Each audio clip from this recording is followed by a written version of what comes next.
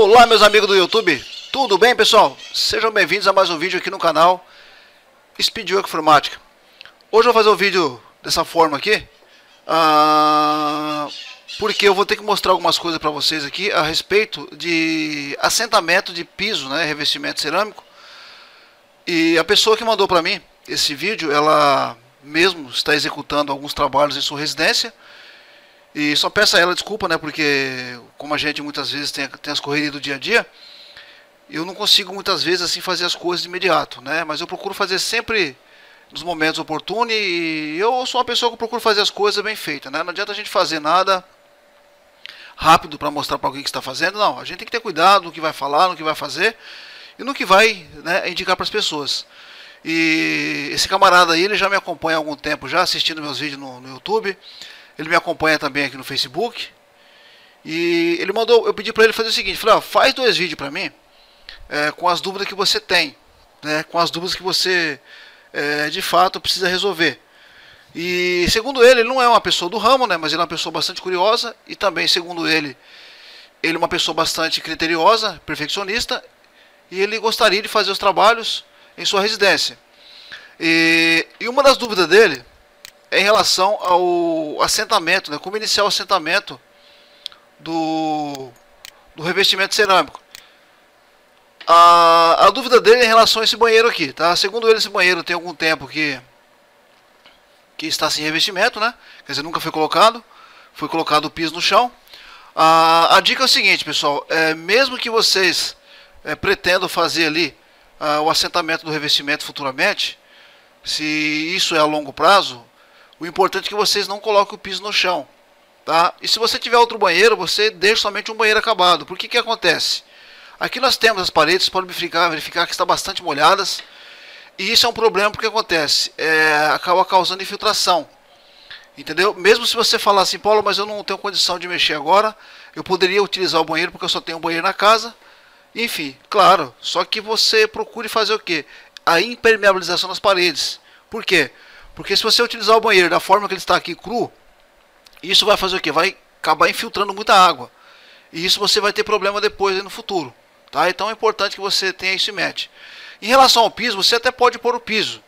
Amanhã depois, se você for trabalhar com revestimento nas paredes, você tem que ter muito cuidado em saber que não pode ali de fato cair nada de cima, né? Então é complicado. Então a gente tem que ter mais cuidado. Mas aqui a gente sabe que até muitas vezes por questão de necessidade, né? Então mas a gente tem que tomar cuidado para depois a gente não ter problemas aí tá? E ele fez algumas perguntas para mim em relação a iniciar o revestimento, como que você inicia o revestimento, se eu jogo o um pedaço embaixo, se eu jogo, por exemplo, a peça inteira em cima, tá ok? Vou mostrar para vocês aqui algumas fotos que eu tenho aqui, né? Na verdade são milhares delas aqui no meu perfil no Facebook. Eu vou procurar aqui é, algumas fotos de banheiros, tá? E da forma que eu trabalho. Deixa eu abrir aqui para que vocês possam acompanhar o que eu quero explicar para vocês aí. Tá bom? Eu vou abrir aqui as fotos, tá? Vou procurar aqui a, uma das pastas onde eu tenho ali centenas de fotos, inclusive delas, é, deixa eu ver se eu acho aqui.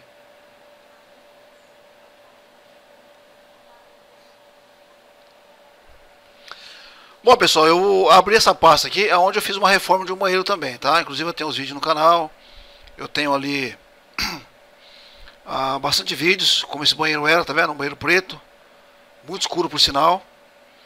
Aqui foi feita a remoção de todo o revestimento, todo o piso. É, instalei batente, modifiquei toda a rede hidráulica de esgoto. Enfim, foram feitos muitos trabalhos aí, tá? E vou mostrar para vocês aqui a, a parte onde eu é, estou trabalhando com revestimento, onde eu iniciei ali né, o, a paginação e como que eu trabalho, tá? Vocês podem verificar aqui que eu tenho já iniciado aqui a paginação, tá? Inclusive um revestimento muito bonito. As paredes foram recuperadas, ou seja, eu acabei fazendo alguns reparos na parede, tampando buraco, coisa do tipo, né?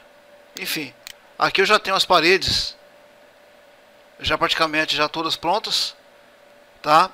E aqui vocês podem observar em relação ao recorte, tá? Do lado direito aqui do vídeo, que eu tenho aqui esse recorte, tá?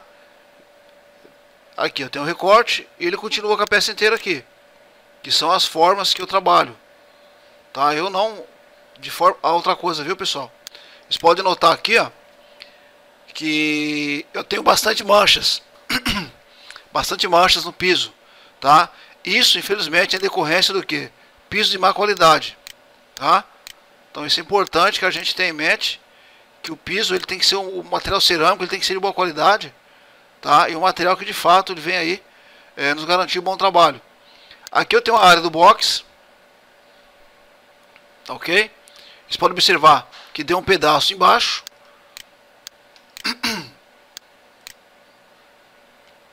E aqui eu tenho, né? Foi feito um nicho também. Uma série de coisas.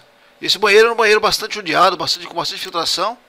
Né? Inclusive quando eu removi as placas, aguardei alguns dias. Né? Foi feito muita coisa, pessoal, tá? E aqui já estou no processo de rejuntamento. Tá?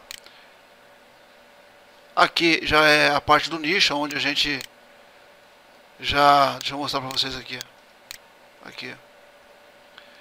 Eu quero mostrar para vocês, meus amigos, deixa eu até virar essa foto, essa foto ela ficou ao contrário, né? Deixa eu ver aqui. Deixa eu girar ela.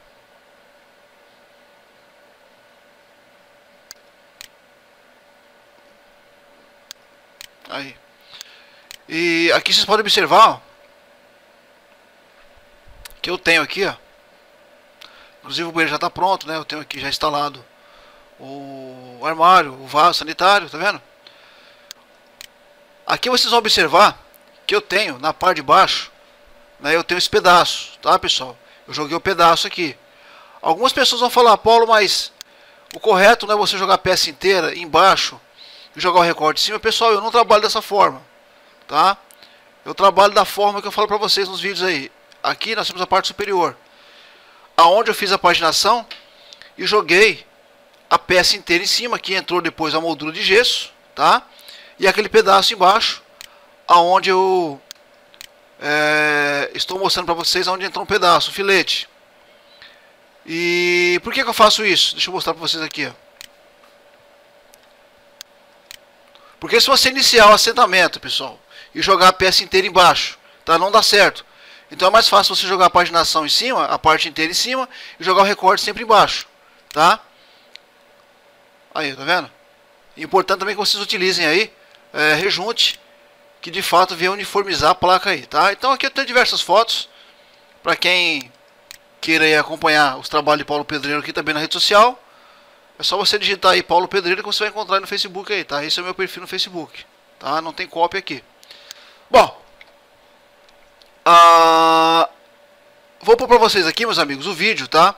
Aonde, aonde ele tem algumas dúvidas, tá bom? Em relação a isso. Por que eu estou fazendo isso? Para que vocês tenham a oportunidade de repassar para mim as dúvidas que você tem. E mediante a isso eu vou trabalhar em cima do que vocês estão falando para mim. Então assim, é, em relação ao que as dúvidas que ele tem, tá? É, em relação é como iniciar a paginação. É feita a paginação de que forma? Tá? Eu tenho uns vídeos no canal e eu vou deixar aqui na aí no card, na parte superior do vídeo aí, lá direito, aonde eu explico como você iniciar a paginação, como você marcar ali o início, tá bom? Então nós vamos agora assistir os dois vídeos que ele mandou para mim, tá? Para que nós possamos entender uh, a necessidade dele, isso é importante. Então se você tem aí a sua dúvida, você tem ali é, algo para nos oferecer, tá? De fato, você fala, Paulo, eu tenho aqui uma dúvida, é, como é que eu, eu gostaria de resolver, como é que a gente faz? Faça um vídeo para mim, tá? E você manda o vídeo relatando o seu problema. Com certeza, o que estiver em meu alcance, tá? Com certeza aí você vai, né, de fato obter as informações sim. Vamos assistir o primeiro vídeo, onde ele fala da parte cerâmica. Bom dia, Paulo. Das placas cerâmicas, ok? Aí, como você pediu, é, o investimento cerâmico que eu vou utilizar vai ser esse aqui. Vendo seu último vídeo, vi que você pede para a gente respeitar o fabricante. Aí eu já vi aqui que é 5 milímetros a distância do, dos espaçamentos. A marca é essa. O investimento é esse aqui. E aí eu vou, vou fazer talvez uns dois vídeos, porque talvez no suporte E esse aqui é o que eu vou colocar piso sobre piso. É. Mas o mais importante no momento é, o, realmente o revestimento que o piso, como você vê minha casa, eu sempre coloquei, né? Aqui foi um pedreiro que colocou. Esse aqui fui eu, bem antigo, vou pôr piso sobre piso também. Né? Ele tá uma bagunça aí. Mas aí, vamos lá. O mais importante é o banheiro aqui, que eu nunca coloquei. E aí tá, já vi que as paredes elas estão bem retinhas, que eu tô com a régua aqui, ó, não dá para te mostrar. Mas a parede tá até até legal, foi meu primeiro reboco. Outra coisa, pessoal, interessante que ele acabou de mencionar agora, que as paredes estão certas, que é o primeiro reboco dele, né? Outro fator importante em preparo de paredes e contrapiso, piso, né, chão de banheiro, é em relação ao que a impermeabilidade, ou seja, uma massa feita para você fazer um revestimento como esse, né, o reboco ou o contrapiso, deve ser diferenciado. Se você puder utilizar produtos de boa qualidade é, na composição dessas misturas, como produtos é, impermeabilizantes, é muito importante, tá? Mas Paulo, mas eu posso utilizar, por exemplo, aqui uma massa de reboco comum? Claro que você pode, tá? Mas é importante a gente saber que a área do banheiro ela tem que ser feita em especial, tá joia? Para você evitar problemas aí é, futuros. Vamos continuar assistindo o vídeo? Casa. Você vê tá até, tá até legalzinho.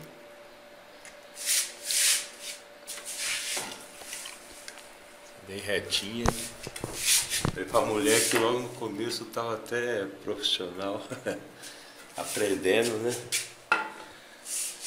Mas é isso, mas a minha maior dúvida mesmo é quanto como eu vou pôr o revestimento primeiro, que para não sujar o piso, eu vou pôr piso sobre piso. Outra coisa importante que ele mencionou, que eu até mencionei no início do vídeo aí, em relação a quais desses materiais eu, eu acendo primeiro, se é o piso ou o revestimento. Obviamente é o revestimento, tá?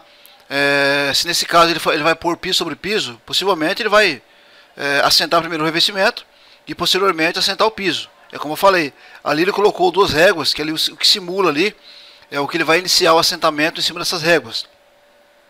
Não sei dizer também é, quanto que ele deixou, se ele jogou a peça em cima inteira né, ou o recorte embaixo. Mas eu volto a frisar, a, a peça inteira tem que trabalhar em cima, tá? E o recorte ele sempre tem que dar embaixo. Tá ok? É, se o piso, após colocar, ele vai ser encaixado por dentro do revestimento, o revestimento eu vou poder encostar no chão e jogar o piso fora, né? Outro fato importante que ele mencionou aqui agora, em relação ao piso. O piso ele vai encostar, ou seja, eu vou ter aquele espaço embaixo onde eu não coloquei o meu recorte. Ah, o meu piso ele vai ser assentado antes de pôr o recorte. Esse piso ele vai ter que fazer o que? Ele vai ter que entrar, tá? Para quando a sua placa cerâmica na parede, o seu revestimento ele descer, ele vai descer em cima do seu piso, tá? Você não vai chegar com um pedaço primeiro embaixo da parede, depois você encostar o piso, não. O é primeiro colocado o piso, tá entrando ali para dentro, dentro, tá? É, deixando o espaço pelo menos ali 2 milímetros, 3 milímetros, dependendo das, da junta de hidratação que você, da junta de assentamento que estão utilizando. E o seu revestimento ele vai descer em cima do piso, tá? Deixando ali um espaço, dependendo da placa, de 3 a 4 milímetros, tá? Para depois o rejunte encostar. Você não pode deixar uma abertura muito grande embaixo entre a o piso e o revestimento, senão esteticamente fica feio, tá? Mas se forem placas de má qualidade, infelizmente você vai ter que utilizar ali né, o mesmo espaço da junta que foi utilizado, porque não adianta você trabalhar com a junta de 5 milímetros entre uma peça e outra e chegar embaixo você encostar a peça né, praticamente em cima do piso. Você não vai ter efeito nenhum ali, por conta de que aquela peça vai expandir e você vai ter problema com, com relação né, à expansão por umidade. Tá ok? É esse tipo de dúvida aí. Agora, o último vídeo que você me mandou foi interessante, porque você fala do acabamento, né?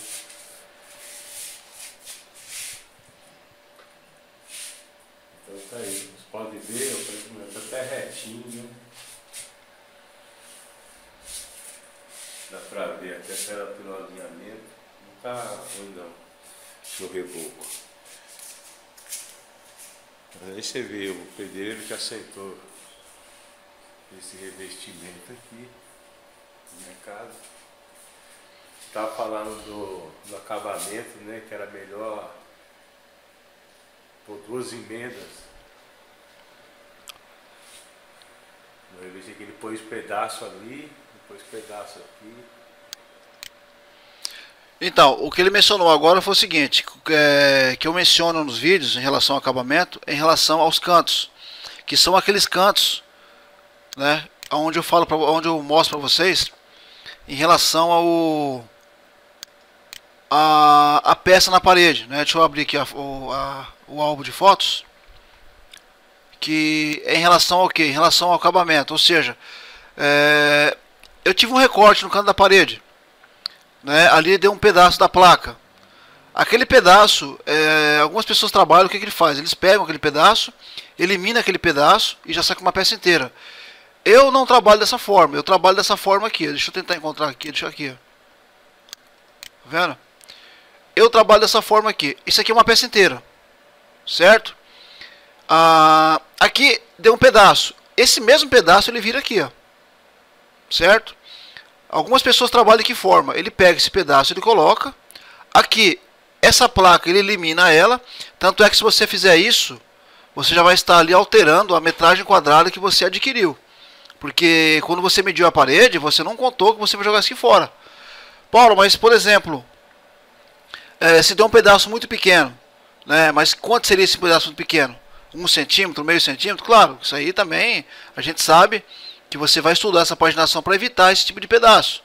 Se for coisa de um centímetro, você vai dividir a parede, você vai eliminar os pedaços, certo? Agora, se deu um pedaço a partir de 5 centímetros, 4 centímetros, 3 centímetros, eu trabalho dessa forma aqui tá? Algumas pessoas podem achar feio, mas não é questão de ser feio ou bonito. É questão de lógica e estética do trabalho. Tá certo? Então eu trabalho dessa forma aqui. Tá ok? Vamos continuar aí com o vídeo para que ele possa é, ele possa é, nos fornecer mais informações em relação à sua dúvida. Vamos lá? Ficou muito, muito legal. Não, não gostei muito não, mas você pode ver que ele recortou em cima e recortou embaixo também, não deu uma placa inteira embaixo. Então a iniciação dele não foi muito boa. Exatamente. É, ele mencionou aqui que o cara ele jogou recorte em cima e recorte embaixo. Tanto é que se você observar, nós não temos faixinha nessa cozinha. Então ali foi um erro é, da parte do instalador. Porque ele possivelmente ele iniciou a peça do meio, né, sem calcular a distância, sem medir, porque antes da gente iniciar o assentamento, a gente tem que fazer o quê? Colocar as placas no chão, já com os espaçadores que já vão ser utilizados, tá? Medir aquelas placas, jogar a peça inteira em cima e vir medindo até chegar embaixo.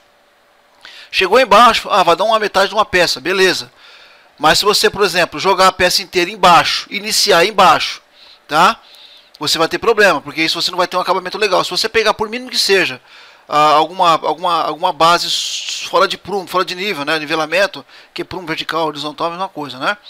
Se você pegar um fora de nível, você vai ter problemas. Então, o correto é você jogar a peça inteira em cima, deixar um espaço para moldura e jogar o recorte embaixo. É dessa forma que eu trabalho. E aí, como eu te falei, eu tenho essa suíte aqui, tem esse banheiro que eu vou fazer mais para frente. Isso eu coloquei, mas eu dei umas erradas aí, eu vou ter que fazer umas correções. Aquela coisa do ralo aí que você falou também. Outro ponto que ele mencionou aqui foi em relação ao ralo, a caixa forada. Você vai notar aí que nós temos, deixa eu voltar um pouquinho o vídeo aqui, ó. Nós temos aqui é, dois ralos, né? Mais para frente. Espera um pouquinho aí. Isso eu coloquei, mas eu dei umas nós temos aqui dois ralos. Nós temos o ralo do box, nós temos um ralo fora do box. Só que nós observarmos aqui, esse box não é rebaixado, tá? Então outro ponto importante em banheiro é você rebaixar o box, certo? Você rebaixar o box, certo? E esse ralo aqui, a gente sempre joga ele escondido atrás do vaso, tá ok? Para evitar que depois quando você pôr o box, você não ter para onde jogar essa água aqui. Então é importante você jogar esse ralo escondido, né? Não ficou feio, mas se você puder fazer jogar ele próximo ao vaso, melhor seria. Tá joia?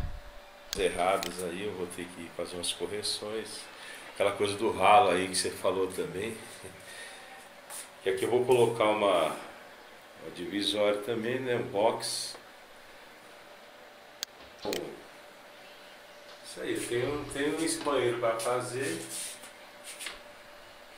certo? Também o reboco não está tão ruim, a parede está tá bem retinha pro último que eu fiz. Até seguindo algumas recomendações suas.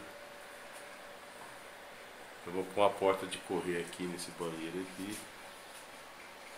No quarto. E eu vou ter esse outro banheiro aqui também. Também é uma suíte, é o quarto do meu filho que logo tá para casar. E esse banheiro é bem alto aqui, ó.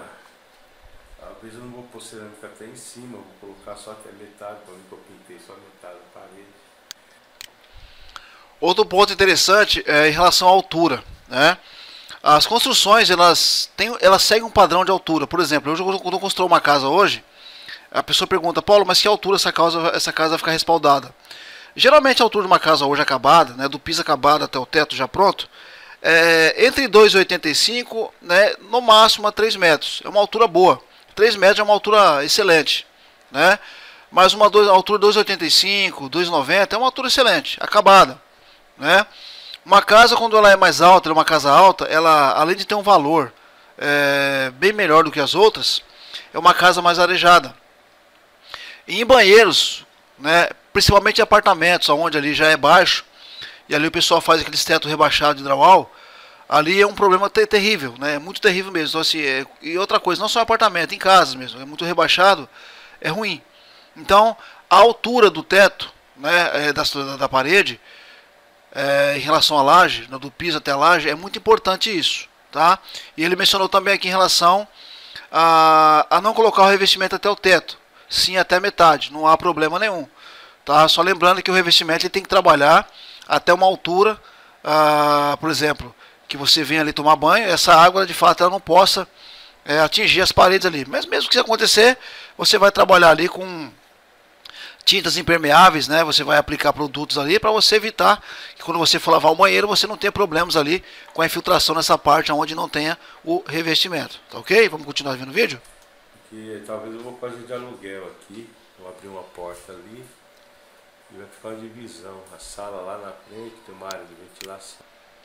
Vou ficar só até metade, para mim que eu pintei só metade da parede. Porque talvez eu vou fazer de aluguel aqui. Vou abrir uma porta ali. E vai ficar uma divisão. A sala lá na frente tem uma área de ventilação. E a garagem eu vou fazer uma separação aqui, fazer aqui de cozinha, que eu, eu chamo de sala útil. Onde tem umas bagunças. Então também aqui, aqui eu vou colocar o revestimento. Outra coisa importante, meus amigos, é o seguinte, em relação... Ah, deixa eu tentar voltar para vocês aqui. Saúde. Onde tem umas bagunças. Então... Vocês podem observar aqui que eu tenho essa parede. Ela está bastante é, úmida, né? Bastante molhada. Isso é um problema complicado. Por quê? Porque eu não sei quanto tempo esse banheiro ficou assim exposto. Mas é importante que isso né, não seja, de forma alguma, é, que fique né, para você assentar o revestimento. Isso tem que ser tratado. Tá? É, quando ocorre esse tipo de filtração e você assenta o revestimento por cima, isso pode acontecer, né? Aquilo que acontece quando você assenta ali um revestimento numa, numa base molhada e aquela placa absorve toda a umidade. E isso pode causar aí problemas é, na estética do material ou até desprendimento da mesma aí. Tá joia? Vamos continuar vendo o vídeo? Também aqui, aqui eu vou colocar o revestimento. Você coloca dois vitrô para ventilar bem e esse está bem interno, né, dentro de casa, porque aqui era uma área. Então... E outra coisa interessante que ele abordou aí no vídeo, né? Em relação ao que? Em relação à ventilação. É muito importante a ventilação, tá? Em ambientes como banheiros, enfim. É, o que ocorre muitas vezes em casas muito baixas, onde muitas vezes é, as pessoas fazem ali até o forro, né? O forro de gesso. E, e isso pode é, causar aí, no decorrer do tempo, né? É, onde a, a passar, o, o, ar não sai, isso acaba causando o que? Amarelamento é, na, no gesso. E isso até, de fato, até deslocando mesmo, por conta do que? Do vapor. Tá? E um banheiro é muito importante, um banheiro ter ventilação sim. Tá bom? E claro, devemos utilizar aí é, janelas apropriadas. Se você observar no vídeo aqui, esse tipo de, de vitrô ele não se usa mais, tá? Ah, o importante é utilizar materiais que sejam de fato aí que não venham aí acabar danificando com o tempo. Uma boa opção é vidro e alumínio, tá ok? Minha filha morou um tempo aqui tinha que ter uma passagem, então por isso que eu coloquei outro vitrô aí para ventilar bem. Mas se eu alugar, eu pretendo pôr um cano aqui em cima para ver uma ventilação. Outra coisa, ele, ele mencionou aqui, quer ver? Ventilação. Vindo lá da área de ventilação. Ele mencionou em pôr um cano. Na verdade, o que ele pode fazer é o seguinte: ele pode abrir essa laje, dependendo, se ele conhecer a estrutura da casa, tá? Não pode de forma alguma cortar as vigas. É, fazer o que? Abrir um, uma passagem e fazer um clarabóia e logo no topo instalar um domus. Eu no canal eu tenho uns vídeos explicando como fazer isso, tá? Mas lembre-se, nunca corte uma estrutura sem você conhecê-la primeiro, tá? Nunca corte uma ferragem, uma viga, um trilho de laje, tá? Para você fazer um buraco na laje. Simplesmente você tem que abrir entre, uma, entre um trilho e outro, onde tem a lajota somente, tá? No canal eu tenho uns vídeos explicando como fazer isso, tá bom? É uma boa opção, além de você ganhar claridade, você vai ganhar ali passagem de ar, tá bom? entrando pro banheiro aqui. Eu pretendo fazer esse, essa condição aí de ar para melhorar, se eu for alugar aqui. E é isso, Paulão. Então, te agradeço aí toda a dica que você me der. Eu sou meio perfeccionista. Janela do banheiro também, que aqui era uma lavanderia, né? Aí virou um corredor. Eu fiz muita mudança na minha casa aqui que foi o último trabalho que eu fiz aí que você viu. Vou... Inclusive também essa, esse trabalho que está mostrando aí, ele acho que uma semana passada, ele, uma semana retrasada, não me lembro muito bem, ele mandou algumas fotos tentando tirar algumas dúvidas, né? Aí eu acabei passando para ele algumas informações a respeito do que eu achava que ficava bom. Ele acabou fazendo, ficou muito bom o serviço dele, né?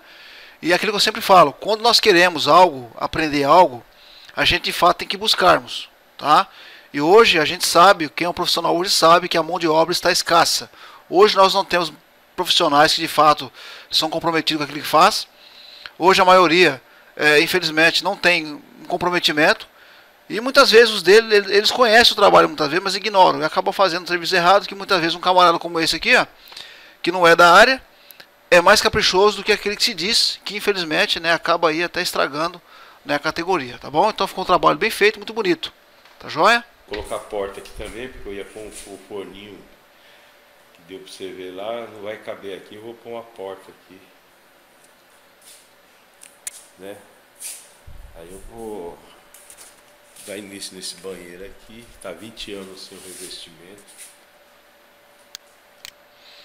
Como você pode observar aí, ele mencionou que esse banheiro está 20 anos sem revestimento, né? 20 anos não é 20 dias, né, pessoal? E se vocês notarem aí na, no vídeo, tá, ficou meio ofuscado, mas dá pra gente entender. Como essas paredes estão bastante manchadas. Ah, isso durante 20 anos, né, chuveiro, chuveiro, né, fumaça, é, é, sabão, é, enfim, isso acaba aí de certa forma é, até prejudicando aí a base.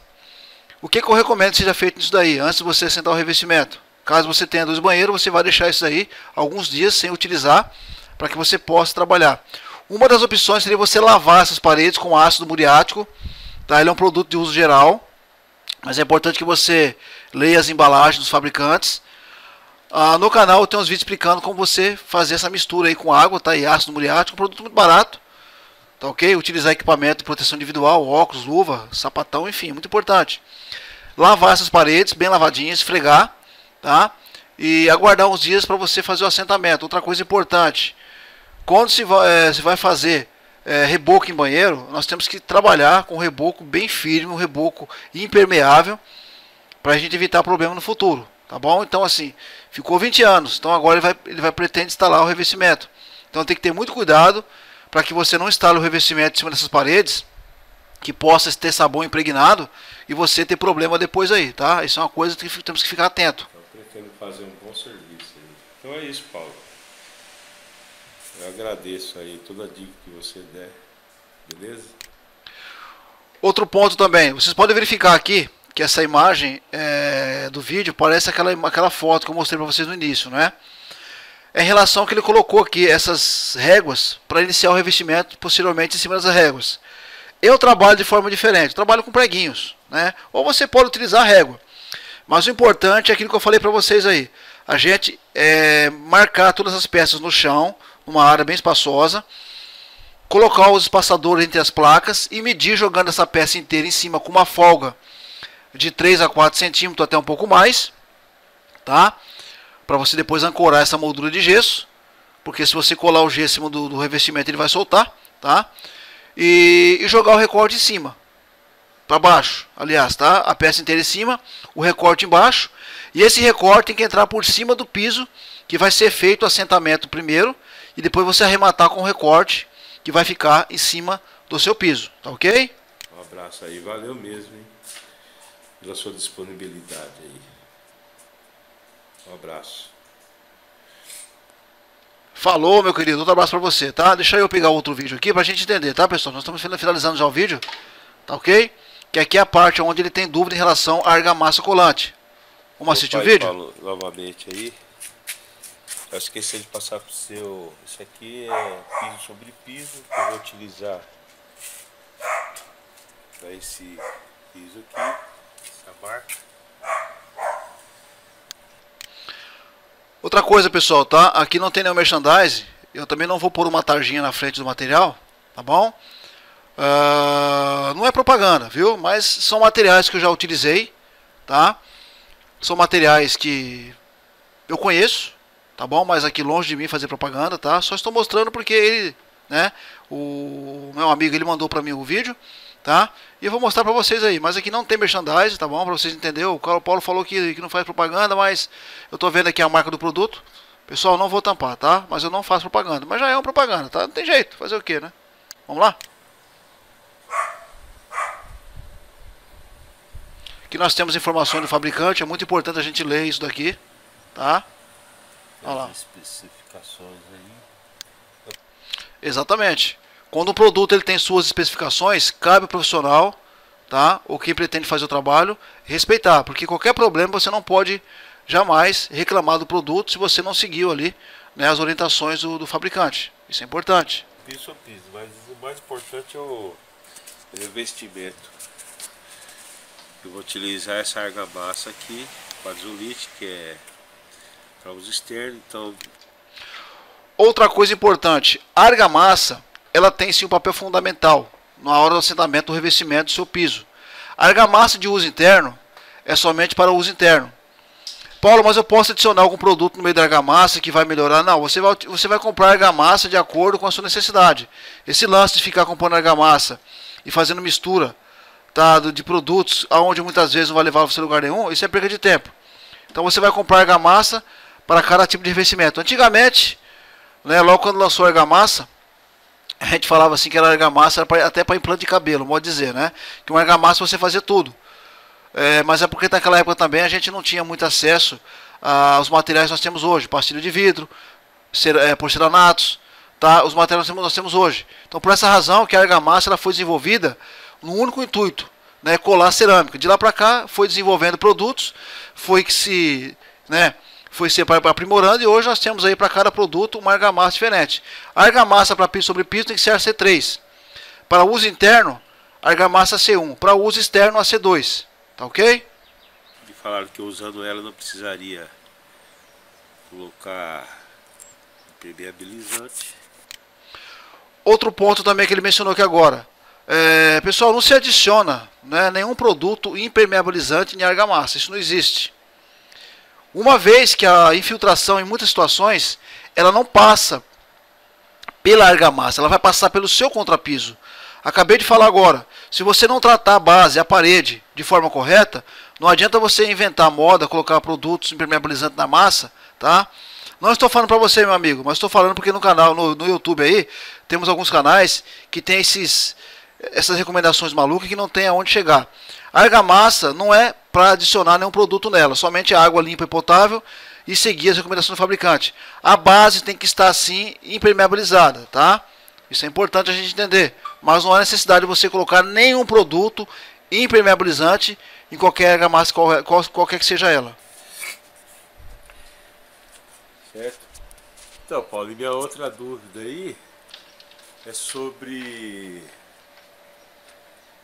eu preciso comprar um uma desesperadeira de dentes maiores para fazer o para passar argamassa na parede. Outro ponto interessante em relação à desempenadeira. A desempenadeira ela tem um papel fundamental. Por que, que eu falo isso? Porque muitas vezes o camarada tem uma desempenadeira, faz 20 anos que ele está com ela, né? E vai utilizando ela, utilizando ela. E, enfim, uma desempenadeira hoje ela custa em torno de 10, 15 reais, dependendo até um pouco mais, tá? Para cada tipo de placa cerâmica, o fabricante ele pede um tamanho de dente. Nós temos diversos formatos de desempenadeiras que nos propõem isso daí. Por exemplo, eu uso uma de 12 milímetros para sentar placas acima de 50 por 60 ou 50 por 50 ou conforme o fabricante ele especifica em suas embalagens dos seus produtos.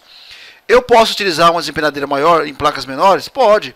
O que você não pode fazer é utilizar uma desempenadeira gasta né, para espalhar argamassa e não vai ficar bom. E outra coisa, Paulo, eu posso refazer os dentes da desempenadeira com, uma, com a minha serra mármore, a maquita, né, a lixadeira? Pode. Mas, gente, é tão barato uma desempenadeira hoje que não compensa você perder tempo com isso. Entendeu?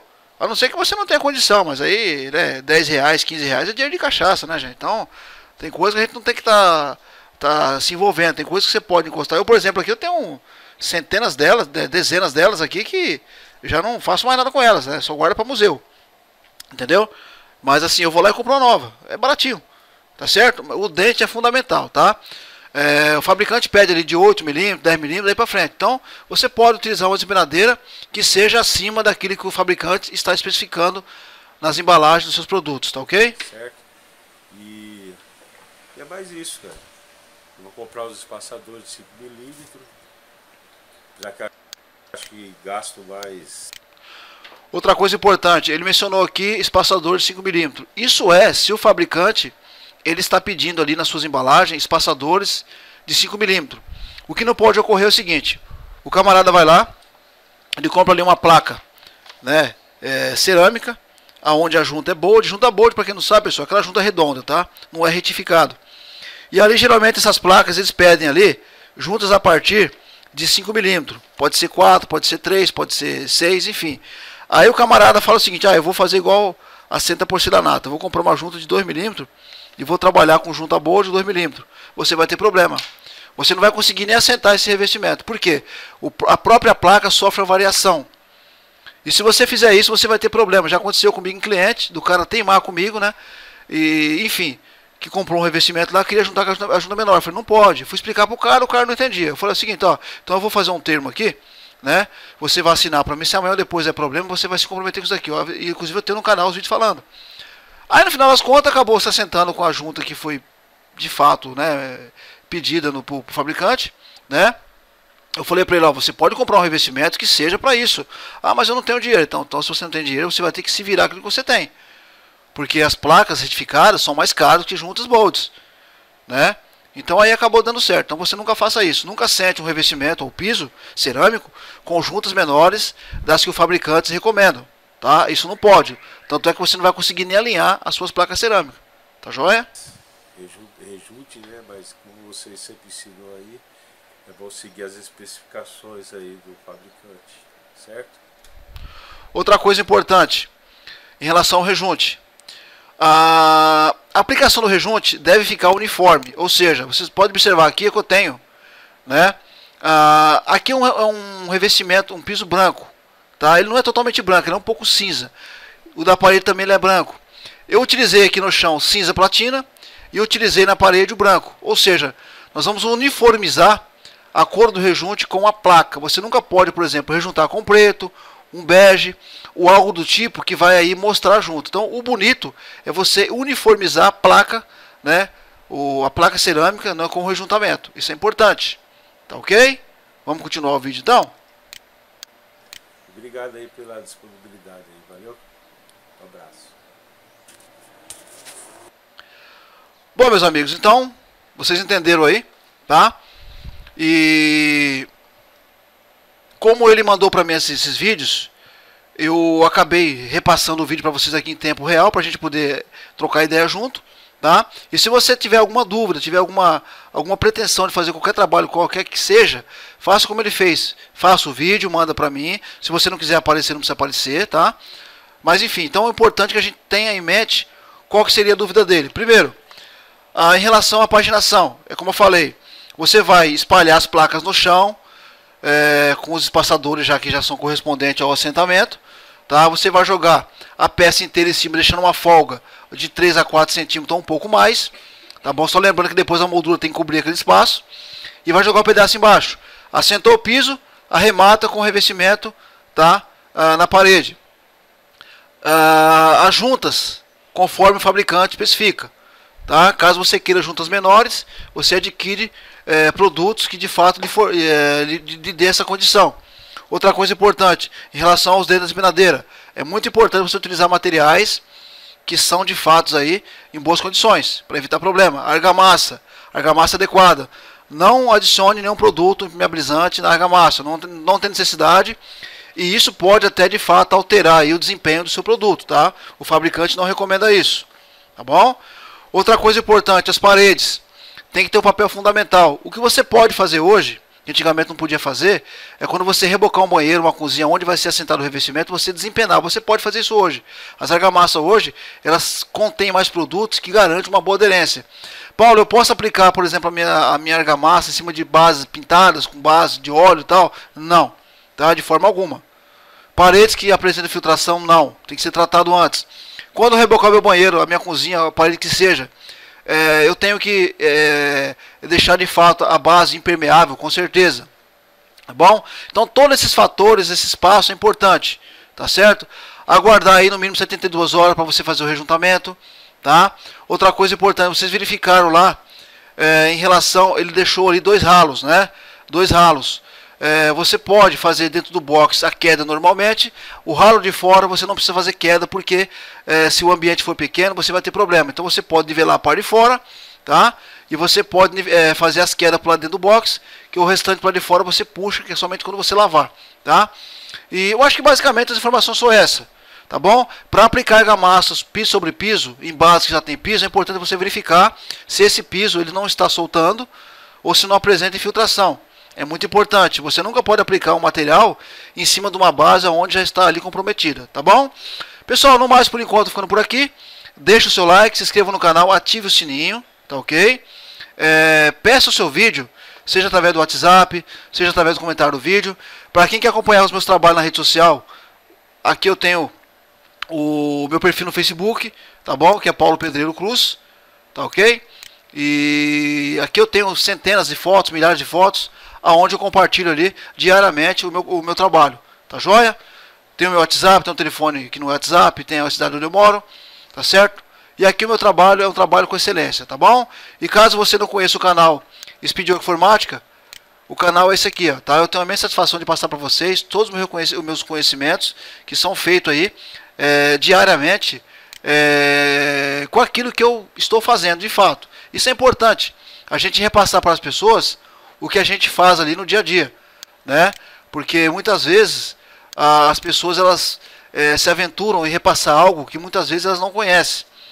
E aqui no canal Speed Informática, o meu maior, o meu maior intuito é o que? Repassar o meu conhecimento através dos meus vídeos, tá bom? Então são vídeos postados diariamente aí. Eu posto um de manhã e um à tarde, tá bom? Aqui tem vídeo de tudo, tá joia?